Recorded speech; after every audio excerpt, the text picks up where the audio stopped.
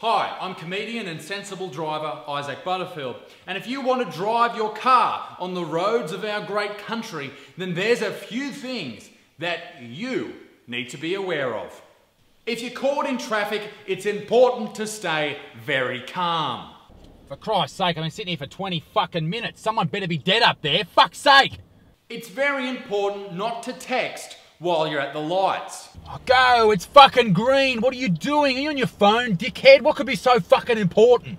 Not only is texting at the lights illegal, it annoys and impedes other drivers getting to where they need to go. So don't fucking do it. Unless, of course, it's a dick pic and it needs to be sent immediately. Sometimes when you're looking for a park, the only option is a reverse park. But remember, in this situation, you want to pull up next to the car that you are trying to reverse in behind, realise immediately that you haven't actually done a reverse park since your P's test, and think, fuck this, drive 500 metres away and walk because you love fitness and you fucking hate reverse parking. If someone accidentally moves into your lane, it's alright. Give them a quick little toot of the horn just to remind them that they've encroached on your space. Oh, what are you doing, you fucking idiot? Move shit for brains. Fuck you, you cocksucker. This is a hard one. Try not to masturbate while you're driving. If you desperately need to have a wank while you're driving, just pull into the cyclist lane because that's where all the wankers hang out.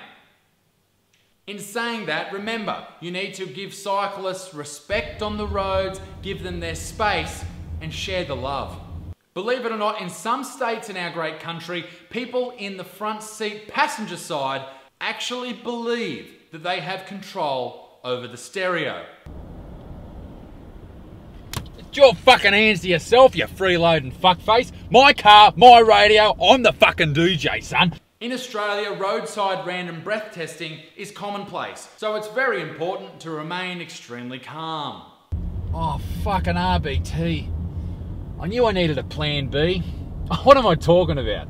It's 10 a.m. on a Tuesday morning. I'll be fine. I've only had like four beers. If you're planning to drive in Australia, make sure you know the wave. The wave is literally a matter of life and death in many different situations and scenarios. Oh, fuck's sake! Jesus Christ! I nearly ran up the arse of you fucking idiot! You wait! I'm gonna pull up the traffic lights and get out and fucking flog you, you dick. Oh, hang on. The wave. No worries, friend. You are forgiven. All is forgiven. Farewell. Bye bye. If you had a big night last night, remember that residual alcohol may still be in your system.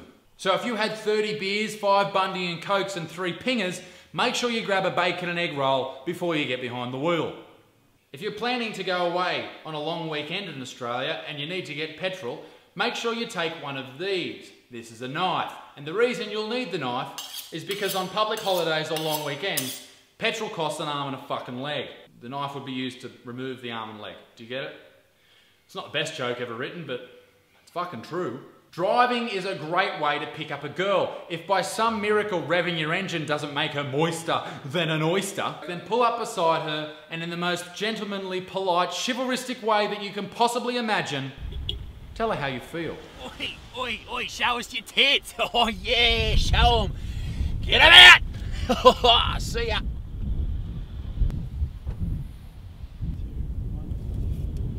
Sure, it may look like I know what I'm doing, but unless the car's stopped because there's not enough fucking windshield wiper fluid, we're fucked and we're not going anywhere.